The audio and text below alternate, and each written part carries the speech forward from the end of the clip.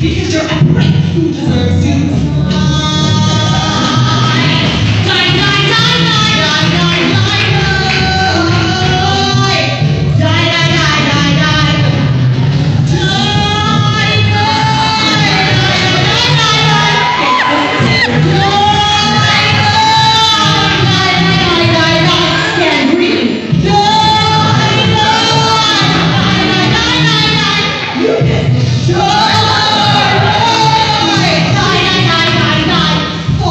you're getting out of the shower, and there are your tweezers on the floor. Because you were always plucking your eyebrows and can't move out your eyebrows and you ever care about me. And when you fall, the tweezers pierce you right between the eyes.